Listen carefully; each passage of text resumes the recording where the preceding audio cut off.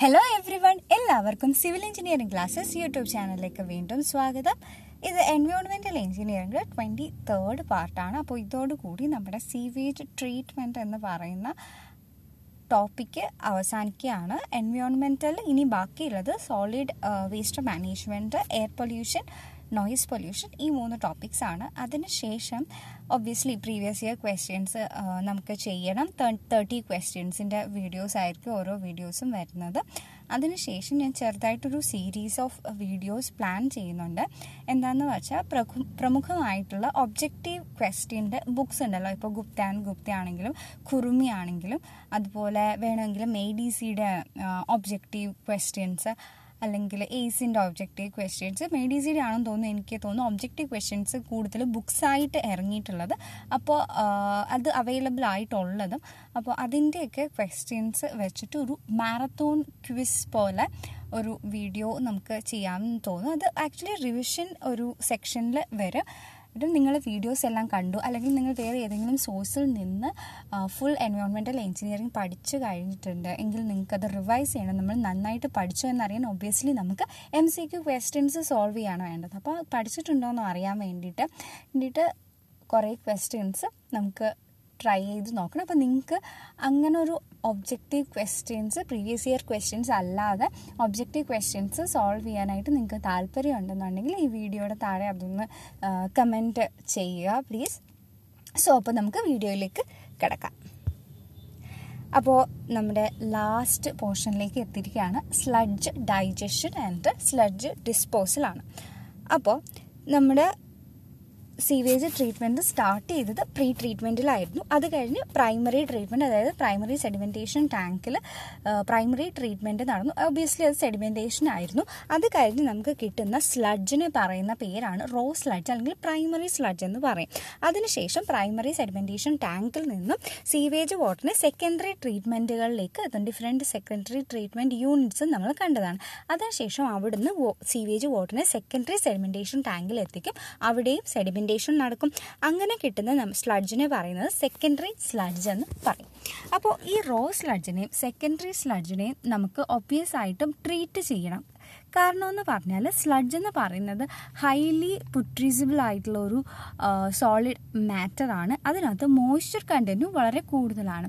അപ്പോൾ ഈ സ്ലഡ്ജ് അതിനകത്ത് കുറേ മൈക്രോ ഓർഗാനിസംസ് ഉണ്ട് സ്മെല്ലി ആയിട്ടുള്ള സോളിഡാണ് അതുപോലെ തന്നെ നമ്മൾ എവിടെയെങ്കിലും ഇതൊരു ഓപ്പൺ ഏരിയയിലൊക്കെ കൊണ്ടുവന്ന് ഡിസ്പോസ് ചെയ്യുകയാണ് ആസിറ്റീസ് അതായത് റോ സ്ലഡ്ജ് ആയിട്ടോ അല്ലെങ്കിൽ സെക്കൻഡറി സ്ലഡ്ജ് ആയിട്ടോ കൊണ്ടുവന്ന് നമ്മൾ എവിടെയെങ്കിലും ഡിസ്പോസ് ചെയ്യുകയാണെന്നുണ്ടെങ്കിൽ ഫ്ലൈ ന്യൂസൻസ് വരാം ഭയങ്കര സ്മെല്ലിന്റെ പ്രോബ്ലംസ് വരാം. അതുപോലെ അൺസാനിറ്ററി കണ്ടീഷൻസ് ഉണ്ടായിട്ട് ഹെൽത്തിന് പ്രോബ്ലം വരാം അടുത്തൊക്കെ താമസിക്കുന്നവരുടെ അടുത്ത്. അത് ഇത്രയുമാണ് ഒരു സ്ലഡ്ജിന്റെ പ്രശ്നം. അത് മാത്രമല്ല അതിന് ലാർജ് ആയിട്ടുള്ള ഒരു മോയ്സ്ചർ കണ്ടന്റും ആയിരിക്കും. ലാർജ് മോയ്സ്ചർ കണ്ടന്റ് ആണെന്നുണ്ടെങ്കിൽ അത് വോളിയത്തിൽ വളരെ കൂടുതലായിരിക്കും. അപ്പോൾ നമുക്കൊരു ലാർജ് സ്പേസ് ഉണ്ടെങ്കിൽ മാത്രമേ ഈ സ്ലഡ്ജിനെ കൊണ്ടുവന്ന് ഡിസ്പോസ് ചെയ്ത് കളയാം. അപ്പോൾ പ്രോപ്പറായിട്ട് ഈ സ്ലഡ്ജിനെ നമ്മൾ ഡൈജസ്റ്റും ചെയ്യണം.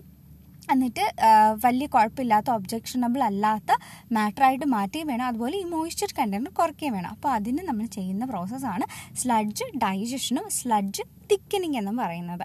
അപ്പോൾ റോസ് സ്ലഡ്ജ് ആണെന്നുണ്ടെങ്കിൽ മോയ്സ്ചർ കണ്ടന്റ് ഓൾമോസ്റ്റ് ഒരു നയന്റി ഫൈവ് പെർസെന്റേജ് വരും secondary sludge from T F T F എന്ന് പറഞ്ഞാൽ അറിയാം ട്രിക്ലിംഗ് ഫിൽറ്റർ ആണ്. അതാണെന്നുണ്ടെങ്കിൽ ninety six to ninety eight percentage വരും secondary sludge from activated sludge process ആണെങ്കിൽ നയന്റി എയ്റ്റ് തൊട്ടൊരു നയന്റി നയൻ പെർസെന്റേജ് വരെ വരും. മോയ്സ്ചർ കണ്ടന്റ് അപ്പോൾ നമുക്ക് മനസ്സിലാകും എത്രത്തോളം ബൾക്കി ആയിരിക്കും. ഈ മോയ്സ്ചർ ഒബ്വിയസ്ലി പോയി കഴിഞ്ഞിട്ടുണ്ടെങ്കിൽ ഇതിന്റെ വോളിയം ഹൈലി റെഡ്യൂസ് ചെയ്യും. അപ്പോൾ അതിന് വേണ്ടി നമുക്ക് സ്ലഡ്ജ് തിക്കനിങ് എന്ന് പറയുന്ന പ്രോസസ്സ് അഡോപ്റ്റ് ചെയ്യണം. അപ്പോൾ സ്ലഡ്ജ് ഡൈജഷൻ ഒന്നുകിൽ ഓക്സിജന്റെ പ്രസൻസ് വഴി നടക്കും. അല്ലെങ്കിൽ അനറോബിക് ആയിട്ടും നടക്കും. മോസ്റ്റ്ലി അനറോബിക് ആയിട്ടാണ് സ്ലഡ്ജ് ഡൈജഷൻ നടത്തുന്നത്. അപ്പോൾ സ്ലഡ്ജ് ഡൈജഷൻ എന്ന് പറഞ്ഞാൽ നമുക്ക് ഡെഫിനിഷനായിട്ട് വേണമെങ്കിൽ പറയാം. It is a process of stabilisation of sludge under anaerobic conditions anaerobic കണ്ടീഷൻസിൽ സ്ലഡ്ജിനെ ഡൈജസ്റ്റ് ചെയ്യുന്ന അല്ലെങ്കിൽ സ്റ്റെബിലൈസ് ചെയ്യുന്ന പ്രോസസ്സിനെ പറയുന്ന പേരാണ് സ്ലഡ്ജ് ഡൈജഷൻ അപ്പോൾ ഈ അനറോബിക് ഡൈജഷൻ ആണ് നടക്കുന്നതെങ്കിൽ നമുക്കറിയാം ആസിഡ്സ് ആൽക്കഹോൾസും അതുപോലെ തന്നെ കുറേ ഗ്യാസസും ആയിരിക്കും ഫോം ചെയ്യുന്നത് അതായത് ലിക്വിഡ്സും ഗ്യാസസുമായിട്ട് നമ്മൾ സോളിഡ് ഓർഗാനിക് മാറ്റർ അല്ലെങ്കിൽ സ്ലഡ്ജ് മാറ്ററിനെ വന്നിട്ട് ലിക്വിഡ്സും ഗ്യാസസുമായിട്ടായിരിക്കും കൺവേർട്ട് ചെയ്യുന്നത്. ഈ അനറോബിക് ഡൈജഷൻ കഴിഞ്ഞു കഴിയുമ്പോഴേക്കും നമ്മുടെ സ്ലഡ്ജ് വന്നിട്ട് മൂന്ന് പ്രോഡക്റ്റായിട്ട് മാറും. ഒന്നെന്ന് പറഞ്ഞാൽ ഡൈജസ്റ്റഡ് സ്ലഡ്ജ് രണ്ടാമത്തത് സൂപ്പർനേറ്റന്റ് ലിക്വിഡ് മൂന്നാമത്തത് ഗ്യാസസ് ഇങ്ങനെ മൂന്ന് പ്രോഡക്റ്റ് ആയിരിക്കും നമുക്ക് അനറോബിക് ഡൈജഷൻ ഓഫ് സ്ലഡ്ജിൽ നിന്നും കിട്ടുന്നത്. അപ്പോൾ ഓരോന്നിന്റെയും പ്രത്യേകതകൾ എന്തൊക്കെയാണെന്ന് നോക്കാം. ഫസ്റ്റ് ഡൈജസ്റ്റഡ് സ്ലഡ്ജ് ആണ്. ഡൈജസ്റ്റഡ് സ്ലഡ്ജ് നമ്മുടെ മാനുവറൊക്കെ പോലെ ഒരു സ്റ്റേബിൾ ആയിട്ടുള്ള ഹ്യൂമസ് ആയിരിക്കും ഈ ഡൈജസ്റ്റഡ് സ്ലഡ്ജ് എന്ന് പറയുന്നത്. ഇതിന്റെ വോളിയം റെഡ്യൂസ് ചെയ്ത് ഇനിഷ്യലി ഉണ്ടായിരുന്ന അൺഡൈജസ്റ്റഡ് സ്ലഡ്ജിന്റെ ഒരു വൺ ബൈ തേർഡ് ആയിട്ട് കുറയുകയും ചെയ്യും. ഇത് പാത്തോജീനിക് ഓർഗാനിസം ഒന്നും ഇതിനകത്ത് ഉണ്ടാവില്ല. നമ്മൾ പറഞ്ഞു അൺഡൈജസ്റ്റഡ് സ്ലഡ്ജ് ആണെന്നുണ്ടെങ്കിൽ ഒബ്വിയസ്ലി അതൊരു ഹെൽത്ത് പ്രോബ്ലത്തിൽ വരെ എത്തിക്കും. നമ്മളത് ഡിസ്പോസ് ചെയ്യുകയാണെന്നുണ്ടെങ്കിൽ ഈ ഡൈജസ്റ്റഡ് സ്ലഡ്ജിൽ പാത്തോജനിക് ഓർഗാനിസംസ് ഒന്നും ഉണ്ടാവില്ല. ഈ ഡൈജസ്റ്റഡ് സ്ലഡ്ജിനെ നമ്മൾ നമ്മുടെ സ്ലഡ്ജ് ഡൈജഷൻ ടാങ്കിൽ നിന്ന് എടുത്തിട്ട് അതിന്റെ ഉള്ള വാട്ടറൊക്കെ കളയും ഡീ വാട്ടർ ചെയ്യും പിന്നെ ഡ്രൈ ചെയ്യും എന്നിട്ട് ഫെർട്ടിലൈസറായിട്ട് യൂസ് ചെയ്യും. അതാണ് ഡൈജസ്റ്റഡ് സ്ലഡ്ജിൽ നമ്മൾ ചെയ്യുന്നത്. നെക്സ്റ്റ് സൂപ്പർ നേറ്റഡ് ലിക്വിഡ് ആണ്. സൂപ്പർ നേറ്റഡ് ലിക്വിഡ് എന്ന് പറഞ്ഞാൽ അതിനകത്ത് നമ്മുടെ സോളിഡ് മാറ്റർ ഒബ്വിയസ്ലി സ്ലഡ്ജിൽ ഉണ്ടായിരുന്നു അതേപോലെ സോളിഡ് മാറ്റർ ഉണ്ടാവും. പക്ഷേ അതൊരു ലിക്വിഫൈഡ് ഫോമിലായിരിക്കും അല്ലെങ്കിൽ ഒരു ഫൈനലി ഡിവൈഡഡ് ആയിട്ടുള്ള ചെറിയ ചെറിയ സ്മോൾ പാർട്ടിക്കിൾസ് ആയിട്ടായിരിക്കും കാണുന്നത്. ഈ സൂപ്പർ നേറ്റഡ് ലിക്വിഡിൽ ഇത്രയും സോളിഡ് മെറ്റീരിയൽ ഉണ്ടായതുകൊണ്ട് തന്നെ ഒബിയസ്ലി ബി ഒ ഡിയുടെ വാല്യൂ വളരെ ഹൈ ആയിരിക്കും. Three thousand P P M വരെയൊക്കെ ആയിരിക്കും. ഒരു വൺ തൗസൻഡ് ഫൈവ് ഹൺഡ്രഡ് തൊട്ട് three thousand P P M വരെയൊക്കെ ആയിരിക്കും സൂപ്പർ നേറ്റഡ് ലിക്വിഡിന്റെ ബി ഒ ഡി വാല്യൂ വരുന്നത്. അപ്പോൾ എന്താ ചെയ്യേണ്ടത്? ഇത്രയും ബിയോഡി ഹൈ ആയിട്ടുള്ളതിനെ നമുക്ക് ഒരിക്കലും കൊണ്ടുവന്ന് എവിടെയെങ്കിലും ഡിസ്പോസ് ചെയ്യാൻ പറ്റില്ല. അതുകൊണ്ട് തന്നെ ഫ്രഷ് സീവേജിന്റെ കൂടെ ഈ സൂപ്പർ നൈറ്റന്റ് ലിക്വിഡ് പിന്നെയും ട്രീറ്റ്മെന്റിനായിട്ട് സീവേജ് പ്ലാന്റിലേക്ക് വിടും. നെക്സ്റ്റ് വന്നിട്ട് ഗ്യാസസ് ആണ്. ഗ്യാസസ് ഓഫ് ഡീകമ്പോസിഷൻ എന്ന് വേണമെങ്കിൽ നമുക്ക് പറയാം.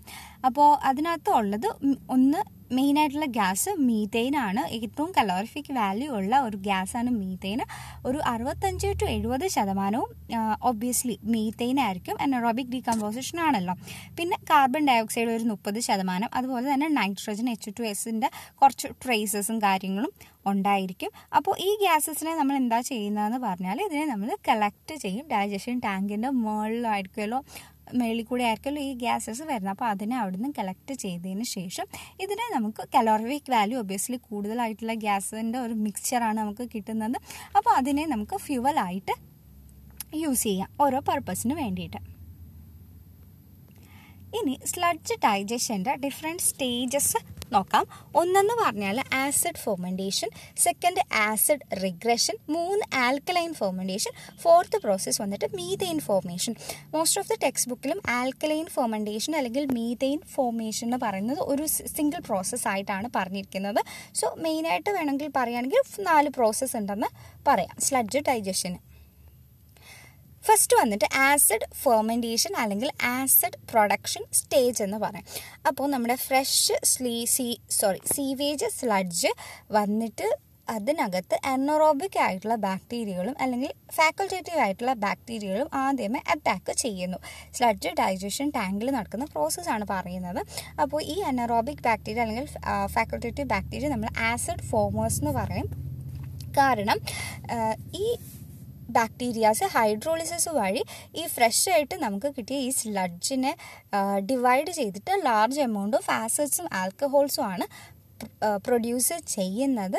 അപ്പോൾ സ്ലഡ്ജിന്റെ പി എച്ച് വന്നിട്ട് കുറഞ്ഞ ഒരു എബൌട്ട് ഒരു സിക്സ് ഒക്കെ ആയിട്ട് മാറും. ഇൻ ആസിഡ് ഫെർമെന്റേഷൻ പ്രോസസ്സ് ഇതിന് ഭയങ്കര ഓർഡർ ആയിരിക്കും. അതുപോലെ തന്നെ ഗ്യാസസ് ഫോം ചെയ്യും like മീതൈന് carbon dioxide H two S പോലെയുള്ള ഗ്യാസസും കാര്യങ്ങളൊക്കെ ഫോം ചെയ്യും. ഈ ഒരു ഫസ്റ്റ് സ്റ്റേജ് എന്ന് പറയുന്നത് ഒരു പതിനഞ്ച് ദിവസം വരെ കണ്ടിന്യൂ ചെയ്യും. സെക്കൻഡ് സ്റ്റേജ് എന്ന് പറഞ്ഞാൽ ആസിഡ് റിഗ്രഷൻ സ്റ്റേജ് ആണ്. ആസിഡ് റിഗ്രഷൻ സ്റ്റേജിൽ എന്താ നടക്കുന്നതെന്ന് പറഞ്ഞാൽ ഫസ്റ്റ് സ്റ്റേജിൽ ഫോം ചെയ്തിട്ടുള്ള വോളറ്റൈൽ ആയിട്ടുള്ള ആസിഡ്സും പിന്നെ കുറച്ച് നൈട്രോജീനിയസ് ആയിട്ടുള്ള കോമ്പൗണ്ട്സും ഉണ്ടാവും. അതിനെ കൺവേർട്ട് ചെയ്ത് ആസിഡ് കാർബണേറ്റ്സും അതുപോലെ അമോണിയ കോമ്പൗണ്ട്സും ആയിട്ട് മാറ്റും. പി എച്ച് കുറച്ചും കൂടി ഒന്ന് റൈസ് ആവും. ഒരു സിക്സ് പോയിന്റ് എയ്റ്റ് വരെയൊക്കെ റൈസ് ആവും. അപ്പോൾ എന്താ സംഭവിക്കുന്നത് പറഞ്ഞാൽ ഇവിടെ ഡീകമ്പോസ്ഡ് ആയിട്ടുള്ള സ്ലഡ്ജ് ഉണ്ട്. ആസിഡ് കാർബണേറ്റും അമോണിയ കോമ്പൗണ്ട്സും ആയിട്ട് ഡീകമ്പോസ്ഡ് ആയിട്ടുള്ള സ്ലഡ്ജ് ഉണ്ട്. അത് കുറച്ച് ഗ്യാസസിനെയും കൂടി ട്രാപ്പ് ചെയ്തിട്ട് ഇത് സർഫസിലേക്ക് നമ്മുടെ ഡൈജഷൻ ടാങ്കിന്റെ സർഫസിലേക്ക് വന്നിട്ട് കെട്ടിക്കിടന്ന് ഒരു സ്കം പോലെ ഫോം ചെയ്യും. ഈ ഒരു പർട്ടിക്കുലർ സ്റ്റേജിലാണ് ഈ സ്കം ഫോർമേഷൻ നടക്കുന്നത്. ഇതൊരു മൂന്ന് മാസം വരെ നമ്മൾ ഡൈജഷൻ ഇട്ട് കൊടുത്തതിന് ശേഷം ഒരു മൂന്ന് മാസം വരെ ഈ ഒരു പ്രോസസ്സ് കണ്ടിന്യൂ ചെയ്യും. നെക്സ്റ്റ് സ്റ്റേജ് എന്ന് പറഞ്ഞാൽ ആൽക്കലൈൻ ഫെർമെന്റേഷൻ സ്റ്റേജാണ് ഫൈനൽ സ്റ്റേജാണ് ഇതിനകത്ത് നടക്കുന്നത് കുറച്ചും കൂടി കോമ്പൗണ്ട് ആയിട്ടുള്ള സബ്സ്റ്റൻസസ് ലൈക്ക് പ്രോട്ടീൻസ് ആവട്ടെ കുറച്ചുകൂടി കോമ്പൗണ്ട് ആയിട്ടുള്ള ഓർഗാനിക് ആസിഡ്സ് ആവട്ടെ ഇതൊക്കെ കൺവേർട്ട് ചെയ്ത് അമോണിയയും ഗ്യാസസും ആയിട്ട് മാറും. ഇത് മോസ്റ്റ്ലി ചെയ്യുന്ന ബാക്ടീരിയാസിനെ പറയുന്ന പേരാണ് മീതെയിൻ ഫോമേഴ്സ് എന്ന് നമുക്ക് പറയാം. ഈ ഒരു സ്റ്റേജിലാണ് സോളിഡിൽ നിന്നും കുറേയൊക്കെ ലിക്വിഡ് എല്ലാം കൂടി സെപ്പറേറ്റ് ആയിട്ട് നമുക്ക് ഡൈജസ്റ്റഡ് സ്ലഡ്ജ് ആയിട്ട് കിട്ടുന്നത്. ഓക്കെ ഈ ഡൈജസ്റ്റഡ് സ്ലഡ്ജിനെ നമ്മൾ എന്ത് ചെയ്യുന്നു? ഡൈജഷൻ ടാങ്കിന്റെ ബോട്ടത്തിലായിട്ട് കളക്ട് ചെയ്യപ്പെടുന്നു. ഈ ഡൈജസ്റ്റഡ് സ്ലഡ്ജിനെ പറയുന്ന പേരാണ് റൈപ്പൻഡ് സ്ലഡ്ജ് എന്ന് പറയും. ഡൈജഷൻ ടാങ്കിന്റെ ബോട്ടത്തിൽ സെറ്റിൽ ആവുന്ന ഡൈജസ്റ്റഡ് സ്ലഡ്ജിനെ പറയുന്ന പേരാണ് റൈപ്പൻഡ് സ്ലഡ്ജ് എന്ന് പറയും. Digested sludge of course last വന്നിട്ട് മീതെയിൻ ഫോമേഴ്സ് ആണ് ആക്ട് ചെയ്തത്. അപ്പോൾ പി എച്ച് ഒബിയസ്ലി കൂടിയിട്ടുണ്ടാവും. അപ്പോൾ ഈ ഡൈജസ്റ്റഡ് സ്ലഡ്ജിന് ആൽക്കലൈൻ നേച്ചറായിരിക്കും ഉണ്ടായിരിക്കുന്നത്. ബി ഒ ഡിയുടെ വാല്യൂ ഒബിയസ്ലി കുറയുകയും ചെയ്യും. ഫസ്റ്റ് ടു സ്റ്റേജിൽ നമ്മൾ കണ്ടതെന്ന് പറഞ്ഞാൽ ബി ഒ ടിയുടെ വാല്യൂ കൂടുതലായിരുന്നു. ഫൈനൽ സ്റ്റേജിലേക്ക് വരുമ്പോൾ അതായത് ആൽക്കലൈൻ ഫോർമെന്റേഷൻ അല്ലെങ്കിൽ മീതെയിൻ ഫോമേഷനിലേക്ക് വരുമ്പോൾ ബി ഒ ഡിയുടെ വാല്യൂ കുറയും. ഈ ഒരു ലാസ്റ്റ് സ്റ്റേജ് ഒരു ഒരു മാസം വരെയൊക്കെ നീണ്ടു നിൽക്കും നെക്സ്റ്റ് വന്നിട്ട് ഫാക്ടേഴ്സ് അഫക്റ്റിംഗ് സ്ലഡ്ജ് ഡൈജഷനാണ് സ്ലഡ്ജ് ഡൈജഷനെ മെയിനായിട്ട് അഫക്റ്റ് ചെയ്യുന്നത് നാല് പ്രോസ് ഫാക്ടേഴ്സാണ് ഒന്ന് ടെമ്പറേച്ചർ രണ്ടാമത്തത് പി എച്ച് മൂന്നാമത്തത് സീഡിങ് വിത്ത് ഡൈജസ്റ്റഡ് സ്ലഡ്ജ് നാലാമത്തത് miss mixing and stirring of raw sludge with digested sludge അപ്പോൾ നമ്മൾ ഓൾറെഡി നേരത്തെ വീഡിയോസിലൊക്കെ പറഞ്ഞതുപോലെ തന്നെ ടെമ്പറേച്ചർ കൂടുമ്പോൾ റേറ്റ് ഓഫ് ഡീകമ്പോസിഷൻ കൂടും. അപ്പോൾ പെട്ടെന്ന് ഡീകമ്പോസിഷൻ നടക്കുകയാണെന്നുണ്ടെങ്കിൽ ഡൈജഷൻ പീരീഡ് അതായത് ടോട്ടൽ സ്ലഡ്ജ് ഡൈജസ്റ്റ് ചെയ്യാൻ എടുക്കുന്ന സമയം ഒബ്വിയസ്ലി കുറഞ്ഞു വരും. അപ്പോൾ അതിന്റെ ആ ഒരു വേരിയേഷൻ നമുക്കൊന്ന് നോക്കാം. തന്നിരിക്കുന്ന ഗ്രാഫ് എന്ന് പറയുന്നത് ഡൈജഷൻ പീരീഡ് വേഴ്സസ് ടെമ്പറേച്ചർ ഗ്രാഫാണ് തന്നിരിക്കുന്നത്. അപ്പോൾ ഫസ്റ്റ് സ്റ്റേജ് എന്ന് പറയുന്നത് ഒരു മീസോഫിലിക് ഡൈജഷനാണ് പിന്നെ ടെമ്പറേച്ചർ കൂടി കൂടി വരുമ്പോഴേക്കും ഒബിയസ്ലി ഡൈജഷൻ പീരീഡ് കുറവായിട്ട് മതിയാകും. അപ്പോൾ ഫസ്റ്റ് സ്റ്റേജ് എന്ന് പറയുന്നത് ഒരു മീസോഫിലിക് ഡൈജഷൻ ആണ് തന്നിരിക്കുന്നത് മീസോഫിലിക് എന്ന് പറയാനെങ്കിൽ ടെമ്പറേച്ചർ വന്നിട്ട് ഒരു forty degree Celsius sorry sorry temperature വന്നിട്ട് മീസോഫിലിക് ഡൈജഷൻ ആണെന്നുണ്ടെങ്കിൽ ട്വന്റി ഫൈവ് തൊട്ട് ഒരു ഫോർട്ടി ഡിഗ്രി സെൽഷ്യസ് ആയിരിക്കും. ഇതായിരിക്കുമല്ലോ നോർമലി ഒരു ഡൈജഷൻ ടാങ്കിൽ നമുക്ക് അവൈലബിൾ ആക്കാൻ പറ്റുന്ന ടെമ്പറേച്ചർ തെർമോഫിലിക് ടെമ്പറേച്ചർ എന്ന് പറയുന്നത് ഒരു ഫോർട്ടി തൊട്ട് സിക്സ്റ്റി വരെ ആയിരിക്കും. ഒബ്വിയസ്ലി ആ ഒരു ടെമ്പറേച്ചർ നമ്മൾ ഡൈജഷൻ ടാങ്കിൽ വരണം എന്നുണ്ടെങ്കിൽ നമ്മളായിട്ട് ടെമ്പറേച്ചർ പ്രൊവൈഡ് ചെയ്യണം അല്ലെങ്കിൽ ഹീറ്റ് പ്രൊവൈഡ് ചെയ്യണം. അത് ഒബ്വിയസ്ലി കോസ്റ്റ്ലി ആണ്. അതുകൊണ്ട് മോസ്റ്റ്ലി മീസോഫിലിക് ഡൈജഷൻ ആണ് പ്രിഫറായിട്ട് ചെയ്യുന്നത്. മീസോഫിലിക് ഓർഗാനിസം ആയിരിക്കും മീസോഫിലിക് ഡൈജഷനിൽ ആക്ട് ചെയ്യുന്നത്. ഇതിന്റെ ഒരു ഒപ്റ്റിമം ടെമ്പറേച്ചർ വന്നിട്ട് ഒരു ട്വന്റി നയൻ ഡിഗ്രി സെൽഷ്യസ് ആണ്. ടെമ്പറേച്ചർ റേഞ്ച് ഒരു ട്വന്റി ഫൈവ് തൊട്ട് ഫോർട്ടി വരെ ആണെന്നുണ്ടെങ്കിൽ മീസോഫിലിക്കിന്റെ ഒപ്റ്റിമം ഡൈജഷൻ എന്ന് പറയുന്നത് ട്വന്റി നയൻ ഡിഗ്രി സെൽഷ്യസ് ആണ്. ഒരു തേർട്ടി ഡേയ്സ് ഒക്കെ കൊണ്ടിട്ട് മീസോഫിലിക് ഡൈജഷൻ ആണെന്നുണ്ടെങ്കിൽ ഫുൾ ഡൈജഷൻ കംപ്ലീറ്റ് ആവുകയും ചെയ്യുന്നു. ഇനി നെക്സ്റ്റ് വന്നിട്ട് തെർമോഫിലിക് ഡൈജഷൻ ആണെന്നുണ്ടെങ്കിൽ ഒപ്റ്റിമം ടെമ്പറേച്ചർ ഒരു fifty four degree fifty four ഡിഗ്രിയാണ് ഒപ്റ്റിമം ടെമ്പറേച്ചർ തെർമോഫിലിക് ആണെങ്കിൽ ഒബ്വിയസ്ലി ടെമ്പറേച്ചർ കൂടുതലായതുകൊണ്ട് പിന്നെ കുറച്ച് ഡൈജഷൻ ടൈം മതി. ടെൻ ടു ഫിഫ്റ്റീൻ ഡേയ്സ് മതിയാകും. ഇനി P H value P H value ഒരിക്കലും സ്ലഡ്ജ് ഡൈജഷന്റെ ടൈമിൽ സിക്സ് പോയിന്റ് ഫൈവിനേക്കാളും കുറയാൻ പാടില്ല. ഒപ്റ്റിമം വാല്യൂ വന്നിട്ട് ഫൈനൽ സ്റ്റേജിൽ ഫൈനൽ സ്റ്റേജിലാണ് ഇനിഷ്യൽ സ്റ്റേജിൽ നമ്മൾ പറഞ്ഞു ആസിഡ് ആസിഡ്സ് ഒക്കെയാണ് ഫോം ചെയ്യുന്നത്. Obviously six six point eight ഒക്കെയാണ് പി എച്ച് വരുന്നത് ഫൈനൽ സ്റ്റേജിൽ എത്തുമ്പോഴേക്കും ഒപ്റ്റിമം ടെമ്പറേച്ചർ എന്ന് പറയുന്നത് ഒരു സെവൻ പോയിന്റ് ആൽക്കലൈനിലോട്ട് എത്തുവാണ്. ഇപ്പോൾ സെവൻ പോയിന്റ് ടു തൊട്ട് ഒരു സെവൻ പോയിന്റ് ഫോർ വരെയാണ് പി എച്ച് നല്ലത്. ഫോർത്ത് ഫാക്ടർ എന്ന് പറയുന്നത് സീഡിങ് വിത്ത് ഡൈജസ്റ്റഡ് സ്ലഡ്ജ് ആണ്. അതായത് ഡൈജസ്റ്റഡ് സ്ലഡ്ജ് ഓൾറെഡി ഡൈജസ്റ്റഡ് ആയിട്ടുള്ള സ്ലഡ്ജിന് നമുക്ക് പുതിയതായിട്ട് കിട്ടിയ സ്ലഡ്ജിലേക്ക് ആഡ് ചെയ്യുക. അപ്പോൾ ഡൈജസ്റ്റഡ് സ്ലഡ്ജിൽ ഉള്ള മൈക്രോ ഓർഗാനിസംസ് ഒബ്വിയസ്ലി നമ്മുടെ ഫ്രഷ് ആയിട്ടുള്ള സ്ലഡ്ജിൽ ആക്ട് ചെയ്യുകയും അങ്ങനെ ഡൈജഷൻ പ്രോസസ്സ് കുറച്ച് പെട്ടെന്ന് നടക്കാൻ അത് സഹായിക്കുകയും ചെയ്യുന്നു. Then mixing and stirring of raw sludge with digested sludge already പറഞ്ഞതാണ്. ഡൈജസ്റ്റഡ് സ്ലഡ്ജ് റോ സ്ലഡ്ജ് അല്ലെങ്കിൽ ഫ്രഷ് ആയിട്ടുള്ള സ്ലഡ്ജും തമ്മിൽ മിക്സ് ചെയ്തിട്ട് ഒരു ഹോമോജീനിയസ് ആയിട്ടുള്ള ഒരു മാസ് ഓഫ് സ്ലഡ്ജ് ആവ ആക്കുക. അപ്പോൾ ഡൈജസ്റ്റഡ് സ്ലഡ്ജിലുണ്ടായിരുന്ന ബാക്ടീരിയാസ് പെട്ടെന്ന് ആക്ട് ചെയ്ത് നല്ല പോലെ ഡീകമ്പോസിഷൻ പെട്ടെന്ന് ടൈമിൽ ഡീകമ്പോസിഷൻ നടത്താൻ വേണ്ടിയിട്ട് സഹായിക്കും. ഓക്കെ. അപ്പോൾ ഈ ഡൈജഷന് പറ്റിയിട്ട് ഫാക്ടേഴ്സ് അത്രയേ ഉള്ളൂ പറയാൻ വേണ്ടി. ഇനി സ്ലഡ്ജ് ഡൈജഷൻ ടാങ്കിനെ പറ്റിയിട്ട് അല്ലെങ്കിൽ ഡൈജസ്റ്റേഴ്സിനെ പറ്റിയിട്ട് നമുക്ക് നോക്കാം. ഇതാണ് ഒരു ബേസിക് ആയിട്ടുള്ള ഒരു cross section of typical sludge digestion tank ഏറ്റവും മുകളിൽ നേരത്തെ പറഞ്ഞതുപോലെ തന്നെ ഗ്യാസസ് കളക്ട് ചെയ്യാനായിട്ടുള്ളൊരു റീജിയൻ ഉണ്ട്. ഒരു താഴെ ഒരു കോണിക്കൽ സെക്ഷൻ അല്ലെങ്കിൽ ഹോപ്പർ പോലെ ഒരു സെക്ഷൻ ആയിരിക്കും. ഇപ്പോൾ ഇവിടെയാണ് നമ്മുടെ സീവേജ് ഡൈജസ്റ്റഡ് സീവേജ് കളക്ട് ആക്കുന്നത്. ഈ പൈപ്പിലൂടെ ഒരു റോസ് സ്ലഡ്ജിനെ നമ്മൾ കടത്തി വിടും എന്നിട്ട് ഡൈജസ്റ്റഡ് സ്ലഡ്ജിന് മുകളിൽ സൂപ്പർ നേറ്റന്റ് ലിക്വിഡ് വന്നിട്ട് കിടക്കും. സൂപ്പർ നേറ്റന്റ് ലിക്വിഡിന് ഇതാ ഇതുവഴിയായിരിക്കും പുറത്തേക്ക് കളയുന്നത്. അപ്പോൾ ഇത്രയാണ് ഒരു സ്ലഡ്ജ് ഡൈജഷൻ ടാങ്കിന്റെ ക്രോസ് സെക്ഷൻ ഇനി അതിന്റെ കുറച്ച് കൺസ്ട്രക്ഷൻ അല്ലെങ്കിൽ ഡിസൈൻ ഡീറ്റെയിൽസ് നോക്കാം. യൂഷ്വലി വന്നിട്ട് സിലിണ്ട്രിക്കൽ ഷേപ്പ് ആയിരിക്കും. സർക്കുലർ ഇൻ പ്ലാൻ ആയിരിക്കും. ഡയമീറ്റർ ഒരു ത്രീ തൊട്ട് ട്വൽവ് മീറ്റർ വരെ വരാം. ഇതിന്റെ ബോട്ടത്തിൽ ഹോപ്പറിന്റെ ഫ്ലോറ് വൺ പോയിന്റ് വൺ തൊട്ട് വൺ പോയിന്റ് ത്രീ വരെ ആണുള്ളത്. പിന്നെ ഡൈജഷൻ ടാങ്കിന്റെ ഡെപ്ത് വന്നിട്ട് സിക്സ് മീറ്റർ ആണ്. കപ്പാസിറ്റി യൂഷ്വലി പ്രൊവൈഡ് ചെയ്യുന്നത് ഒരു ഇരുപത്തൊന്ന് തൊട്ട് അറുപത്തൊന്ന് എൽ പി സി ഡി ആണ് പ്രൊവൈഡ് ചെയ്യുന്നത് ഡൈജഷൻ സ്ലഡ്ജ് ഡൈജഷൻ ടാങ്കിന് ഓക്കെ അപ്പോൾ നമ്മൾ സ്ലഡ്ജിനെ ഡൈജസ്റ്റ് ചെയ്ത് കഴിഞ്ഞു.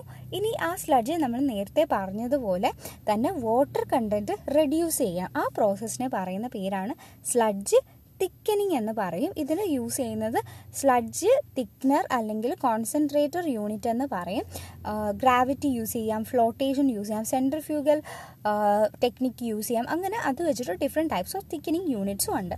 ദെൻ ലാസ്റ്റ് വന്നിട്ട് ഡിസ്പോസൽ ഈ സ്ലഡ്ജിൽ ഒന്നെങ്കിൽ നമ്മൾ കടലിൽ ഡംപ് ചെയ്യും. അല്ലെങ്കിൽ ട്രെഞ്ചസ് കുഴികൾ കുഴിച്ചിട്ട് അതിനകത്ത് ഡംപ് ചെയ്യും. അല്ലെങ്കിൽ ഇൻസെൻട്രേഷൻ അതായത് നല്ല ടെമ്പറേച്ചർ കൊടുത്തിട്ട് കരിച്ച് കളയും. അങ്ങനെയാണ് ഇതിനെ ഡിസ്പോസൽ കാര്യങ്ങൾ ചെയ്യുന്നത്. സോ വേസ്റ്റ് വാട്ടർ എഞ്ചിനീയറിംഗിന്റെ ലാസ്റ്റ് വീഡിയോയും കഴിഞ്ഞു. അപ്പോൾ നിങ്ങൾക്ക് ഈ വീഡിയോ ഇഷ്ടപ്പെട്ടെങ്കിൽ ലൈക്ക് ചെയ്യുക ചാനൽ സബ്സ്ക്രൈബ് ചെയ്യുക. താങ്ക്